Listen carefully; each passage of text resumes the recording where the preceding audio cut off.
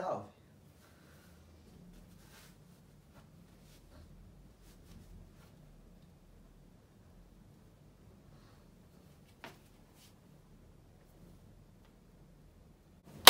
Salve rapaziada, firmeza? Pra quem não me conhece, eu sou o Guilherme, começando mais um vídeo aí.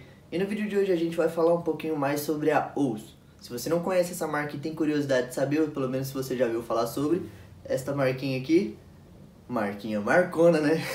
Acompanhe esse vídeo até o final que hoje você vai descobrir, certo? Então, bora pro vídeo.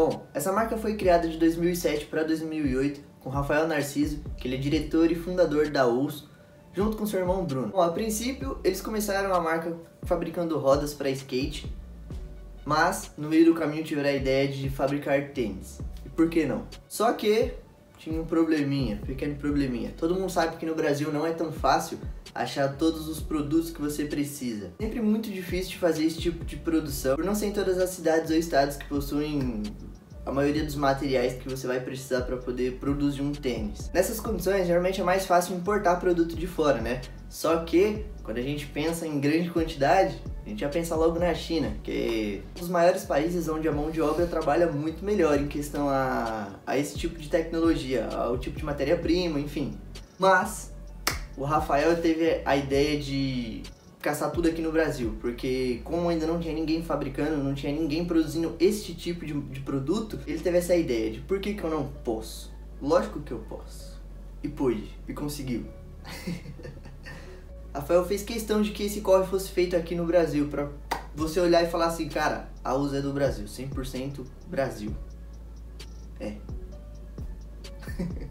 Só que eles mal sabiam que ia ser uma marca com tanto nome no meio do mercado. Mas a diferença dessa marca é que a USA em si, ela não trabalha só com direção de confecções e calçados, e só. Eles adotam a cultura e toda a classe que um produto deveria ter. Ou seja, eles fazem um produto com real valor. Não é somente por fazer, tipo, vou fazer aqui e alguém vai usar e já era. Não, eles trazem uma vivência, eles trazem uma cultura e eles montam um todo, tá ligado? Mais ou menos essa ideia. São vivências e culturas diferenciadas, transformadas nos tênis, nas estampas, na forma que eles costumam pensar, que eles gostam de pensar, e na forma como eles atuam. A Ouse já está no mercado desde agosto de 2008, e ela começou lá no Rio Grande do Sul, e desde então eles conseguem fazer uma proeza de lançar um tênis novo, um modelo novo de tênis a cada seis dias. Exatamente, a cada seis dias.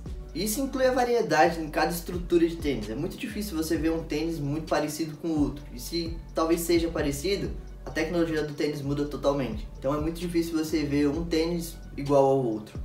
A OUS realmente é completa em todos os sentidos de como marca, porque eles conseguem fazer um produto muito bom e tem quem os represente muito bem também. Falando mais pra essa parte dos atletas, tá ligado? Além disso, como eles conseguem expressar a cultura da rua, a vivência de todos os dias é de uma forma única também. Não é muito fácil você enxergar como, como transcender a relação de um sentimento e uma vivência, tá ligado? A OUS mais ou menos consegue passar isso para todo mundo que conhece a marca e todo mundo que adquire dela. Sabe mais ou menos como é que funciona. Esse tipo de sensação que eu acabei de falar acho que eu posso dizer sensação, tá ligado? Vocês conseguem achar em vários projetos audiovisuais que a Uso já participou, já fez collab, é, enfim. Um deles que vocês podem ver realmente a vivência da rua é um projeto que saiu faz pouco tempo, é o projeto de vídeo Gato Preto. É um vídeo muito legal, eu gostei bastante, a produção foi muito bem feita, muito bem editada. Ah, o pessoal que tá andando não tenho nem o que falar, né? Vocês estão ligados já. Se você não conhecia ainda, assiste lá que você vai entender o que é que eu tô falando.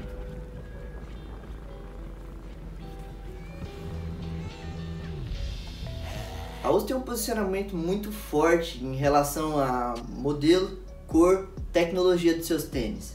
Eles acreditam em uma parada que é chamada de color match. Bom, para quem não sabe, color match é a possibilidade de variedade de produtos, cores, tecidos diferentes. É, como é que eu posso dizer? Quando cores e tecidos se encaixam. Mais ou menos isso, tá ligado? A harmonia do produto. Desde um tecido com uma cor, desde uma cor com outra cor, enfim, é uma enorme variedade. A gente consegue brincar com esse tipo de cor, tá ligado? Só que é um trabalho até chegar lá. Então são muitos testes, são muitas comparações e isso varia desde cor até, sei lá, altura de um tênis. Low, mid e high de algum tênis, mais ou menos isso. Bom, se você não entendeu, eu vou dar um exemplo um pouquinho mais claro.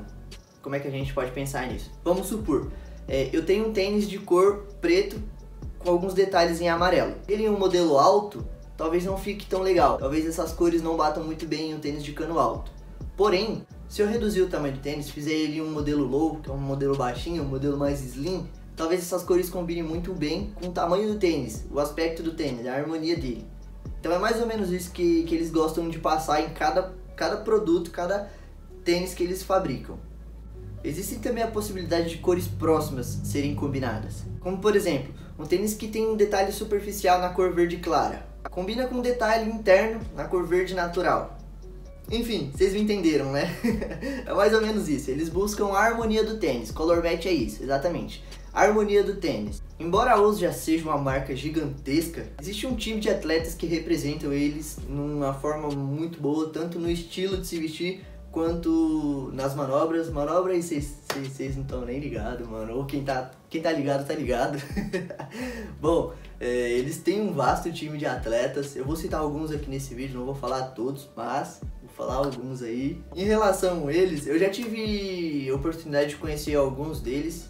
Já tive sim. Fico muito feliz por isso, muito legal. O rolê dos caras são realmente muito bom. Por conhecer alguns deles pessoalmente, que às vezes em vídeo a gente olha uma coisa, vê uma cena e pessoalmente pode ser diferente, tá ligado? Então eu acredito que olhando pessoalmente os caras andam muito mais. Só pelo esforço, o jeito de andar, o estilo de mandar as manobras, eu consegui perceber que o pessoal que representa a OS tem totalmente a cara da OS, tá ligado? Então acho que são pessoas que deveriam estar onde realmente estão. Eu, eu tenho essa sensação quando olho pro time de atletas da OS. Bom, e pra quem não sabe, alguns dos atletas da OS, eu vou falar todos porque tem bastante gente, é, são eles. Felipe Ortiz,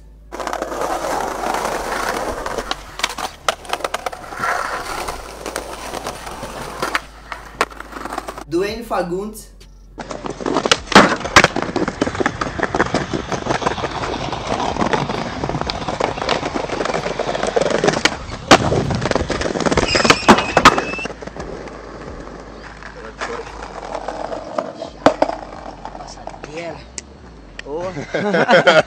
ah, jogou rápido. Patrick Vidal.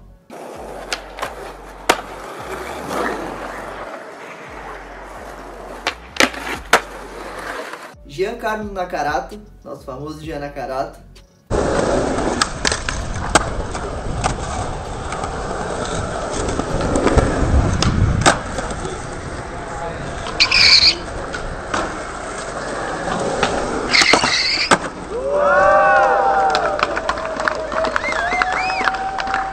Lucas Marques.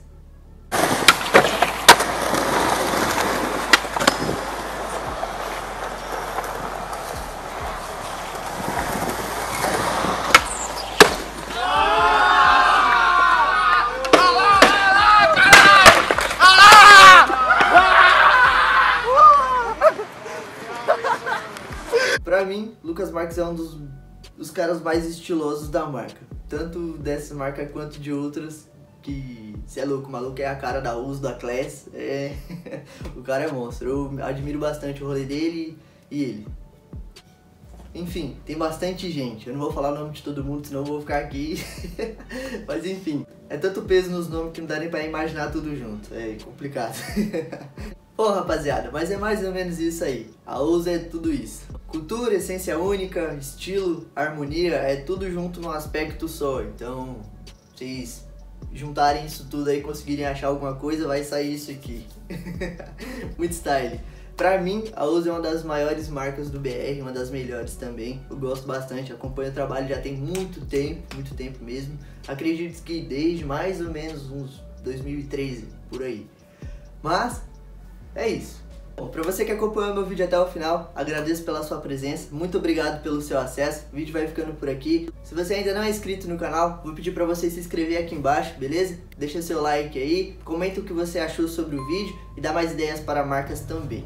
Bom, muito obrigado, tamo junto e até o próximo vídeo, hein? Falou!